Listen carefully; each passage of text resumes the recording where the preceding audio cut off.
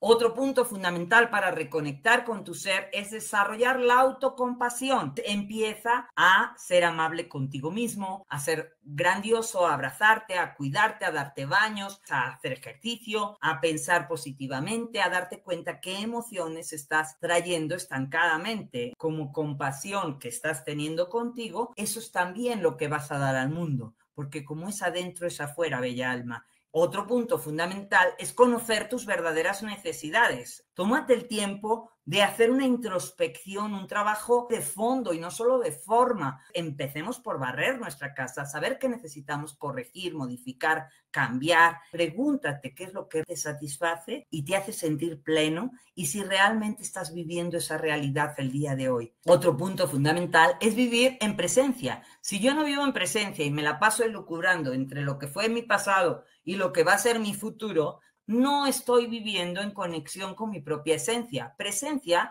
significa aprovechar el regalo que me trae la vida en estos momentos en mi presente. No existe el pasado y no existe el futuro. Lo voy a vivir con toda mi grandiosidad en acción.